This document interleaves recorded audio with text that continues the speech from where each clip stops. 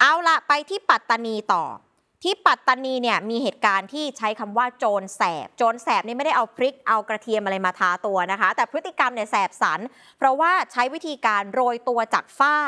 แล้วขโมยโทรศัพท์มือถือเกือบ 10 เครื่อง มูลค่า 30,000 กว่าบาทดูนะกล้องวงจรปิดจับภาพเห็นว่านายคนนี้เดินวนเดินเวียนมาที่ร้านขายโทรศัพท์มือถือ พื้นที่อำเภอ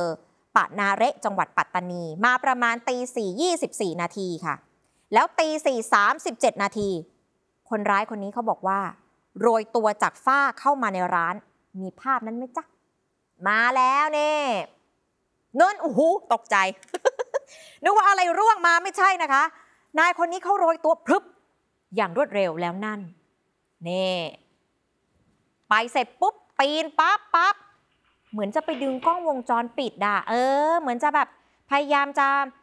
ทำลายหลักฐาน แต่หารู้ไหมว่ากล้องวงจรปิดไม่ได้มีแค่นั้น มีมุมอื่นอีกแล้วเห็นเลยค่ะ คุณพี่ไม่ปิดบังใบหน้าชัดเจน เอามือมือเอื้อมเข้าไป ในตู้ที่เขาโชว์โทรศัพท์มือถือ หยิบอะไรได้หยิบไปเลยนี่ฟับฟับฟับใส่กางเกง ด้านในด้านนอกยัดใส่ไปให้หมด ตู้นั้นก็เอาไปด้วยกวาดไปได้ 10 เครื่องค่ะ เสร็จปุ๊บหนีออกทางหลังร้านที่เป็นกำแพงติดกับบึงน้ำ เหตุการณ์เกิดขึ้น 17 ธันวาคมนะคะ แล้วกล้องชัดมากกล้องวงจรปิด ไฟในร้านเขาก็เปิดไว้ด้วยนะคะ หวังว่ากล้องวงจรปิดที่ไปงัดมานั่นนะคงจะมองไม่เห็นตัวเอง แหมหารู้ไหมพี่คะ มีมุมอื่นอีกนี่ มุมเสยมุมบนเห็นหมดเลยนะคะ ผู้เสียหายคือคุณวารุณีกอแลบอกว่าปกติจะเปิดร้าน ขออภัยจะปิดร้าน ประมาณ4ี่ทุ่ม แล้วก็จะนอนที่ร้านทุกคืน แต่คืนเกิดเหตุเนี่ยไปต่างจังหวัด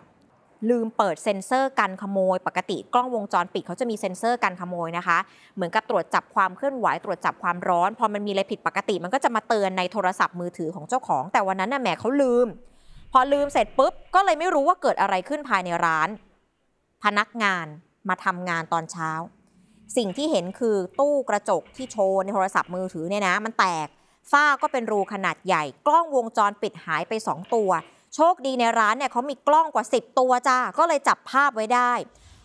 โทรศัพท์หายไป 10 เครื่องมูลค่ากว่า 30,000 บาท แล้วครั้งนี้เป็นครั้งที่ 2 แล้วนะคะ ครั้งแรกอะ่ะจับคนร้ายได้ คือครั้งแรกที่โจรมาเนี่ยนะ พอมาขโมยปุ๊บวันรุ่งขึ้นเนี่ยจับได้เลย แต่นี่เป็นครั้งที่2แล้ว เขาบอกว่าแถวนั้นเนี่ย โจรมันเยอะ ไม่รู้ว่าเกี่ยวกับ ยังไงเนี่ยนะ เออ แต่ยังไม่ว่าจะยังไงก็แล้วแต่ มาขโมยของแบบนี้ต้องถูกดำเนินคดีนะคะ ผู้เสียหายเขาไม่ยอมนะ ฟังหน่อยค่ะ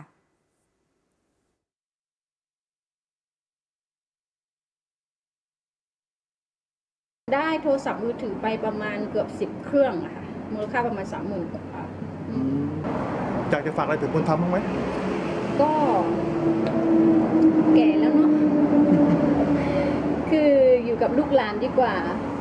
ไปขโมยมันก็ไม่ดีนะคะ แก่แล้วอายุก็เยอะแล้ว